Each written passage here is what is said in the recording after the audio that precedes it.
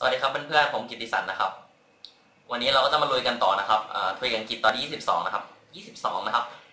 ก็มาลุยเลยครับตอนที่ 28 นะครับ เอ้มาเลย you clearly have จุดจุดจุดจุด it's obvious that you will win the award นะครับโอเคนะครับ okay. อีกครั้งนะครับ again again นะครับ you clearly have จุดจุดจุด it's obvious that you will win the award นะครับเห็นไหมครับข้อ A ครับ control control นะครับ control นะครับ control ข้อ B power นะครับ ข้อ C talent นะครับ ข้อ D ก็ strength นะครับ strength นะครับ ก็ control power talent strength นะครับ strength นะครับ โอเคนะครับ ก็มาดูกันก่อนนะครับว่ามีคำศัพท์อะไรมั่งครับ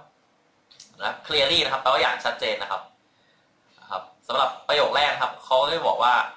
you clearly have จุดจุดจุดจุดแปลว่า คุณมีอะไรไม่รู้อย่างชัดเจนนะครับ คุณมีอะไรไม่รู้อย่างชัดเจนนะครับ ครับ ต่อมานะครับคำว่า obvious นะครับ ก็แปลว่าชัดเจนนะครับ แต่ว่าเป็น adjective นะครับ ข้อแรกเป็น adverb นะครับ ข้อสองเป็น adjective นะครับ หรือว่าถ้าแปลไทยๆก็เห็นเห็นกันอยู่นั่นแหละ เห็นเห็นกันอยู่นั่นแหละ รู้ๆกันอยู่อะไรอย่างเงี้ยครับ ครับ จากประโยคนี้ครับก็จะแปลว่า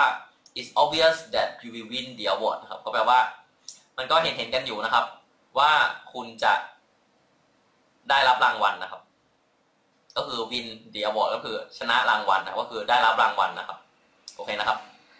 ก็ obvious ก็ปกติเขาก็ใช้กันทั่วไปนะครับ ก็ลองดูครับมันจะมีอีกสองสาคำเออมันจะมี ผมจะมีประโยคมาให้นะครับ อีกอันหนึ่งนะครับ ก็คือเนี้ยครับ I don't fall for your obvious lies นะครับ ก็แปลว่า ฉันไม่ตก ตกสำหรับ your obvious lie lie แปลว่าคำโกหกนะครับ ก็คำโกหกของคุณที่รู้ๆกันอยู่นะครับ อะไรอย่างนี้นะครับ ก็คือ ถ้าแปลเป็นไทยครับดีๆก็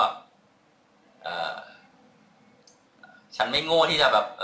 ไปเชื่อคุณหรอกอกับคำโกหกของคุณที่คุณพูดอยู่บ่อย ๆ อะไรเงี้ยครับเพราะว่าคล้ายแบบคนที่กำลังพูดอยู่นะครับ ก็คือแบบว่าโกหกบ่อยนะครับก็ I don't fall for your obvious lie ก็คือไม่โง่นะครับ ไม่เสียโง่นะครับ for แปลว่าตกครับถ้าแปลเป็นไทยนะครับ แต่ว่าเขาใช้ในแบบนี้นะครับ I don't fall for your obvious lies นะครับ ก็คือโกหกหลายครั้งครับ จนชินแล้วครับว่า มาพูดอะไรเนี่ย อ้างอะไรโกหกแน่นอนนะครับ เรารู้แน่นอนนะครับถ้าเป็นผู้หญิงก็จะรู้ว่าผู้ชายไปนู่นไปนี่อะไรครับ ถ้าอ้างบ่อยอ้างนู่นอ้างนี่นะครับ ก็อาจจะโกหกนะครับ ก็ต้องดูกันดีๆนะครับ ผมก็ไม่ได้ว่าโกหกทุกคนนะครับ ก็ไม่ใช่นะครับ เพราะผมก็ผู้ชายเหมือนกัน ผมก็ไม่ได้โกหกทุกครั้งนะ ผมก็ไม่ได้โกหกเลยนะครับ ก็แบบน่าจะไม่ทั้งหนึ่งเปอร์เซ็นต์สองเปอร์เซ็นต์นะครับ ก็ดูคนอื่นนะครับ ก็คำต่อมานะครับคำว่า award นะครับ award เป็นคำนามนะครับแปลว่ารางวัลนะครับแต่ว่าก็มีอีกคำหนึ่งเหมือนกันนะครับ ที่เป็นแค่คำคล้ายๆกันนะครับ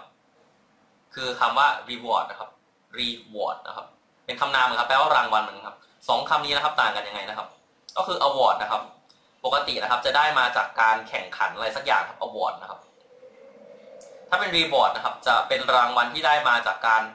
ทำอะไรสักอย่างเช่นนะครับถูกหวย ถูกหวย ไม่รู้เป็น reward หรือเปล่านะครับ แต่ว่าสมมติแบบการทำอะไรสักอย่าง เช่น ไปทำงานนะครับเป็น job เป็น job freelance นะครับ ก็จะได้เป็น reward นะครับ แบบนี้นะครับ เป็น job เป็น job ไปนะครับ หรือว่าอาจจะเป็นแบบว่ามี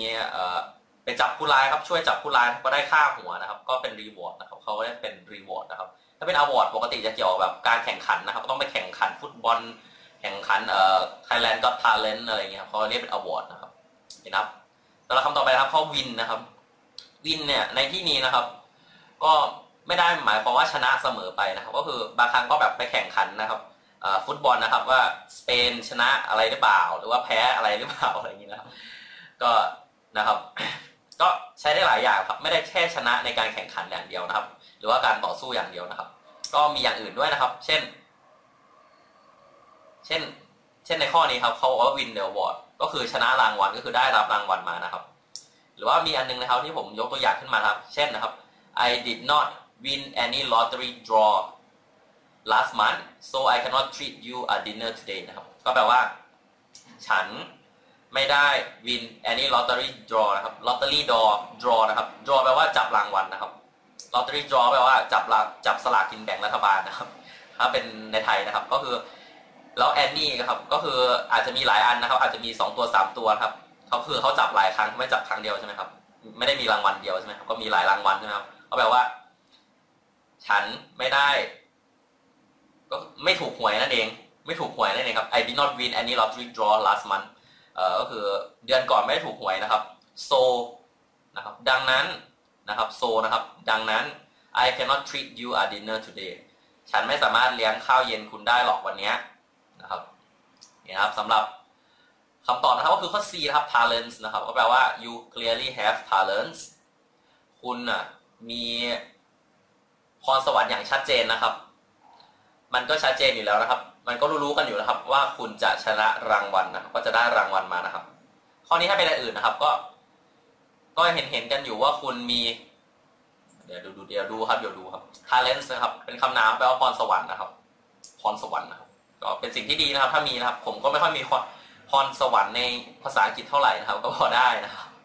ก็งูปลาปลานะครับไปเรื่อยๆนะครับก็ไม่ได้เก่งมากนะครับ ก็พอได้นะครับ ก็พอ รู้คำศัพท์นะครับ แต่ไวยากรณ์ผมก็ไม่ค่อยแกล่งเท่าไหร่นะครับก็ข้อต่อไปนะครับก็ control นะครับ control นะครับ เป็นได้ทั้งคำนามทั้ง verb นะครับ แปลว่าการควบคุมหรือว่าควบคุมนะครับ เนี่ยครับ ถ้าเราไปใส่มันก็จะผิดนะครับ ข้อนี้ก็คุณมีการควบคุมอย่างชัดเจน แล้วคุณจะชนะนะครับ ก็มันก็ไม่ค่อยลิงก์เท่าไหร่ใช่ไหมครับเขียนนะครับ ควบคุมนะครับ การควบคุมนะครับตัวอย่างประโยคนะครับ being a being a human is to know a self control นะครับ ก็คือการเป็นคนนะครับ being a human คือ is to know ครับคือการรู้จักนะครับ is to know ครับคือการรู้จัก a self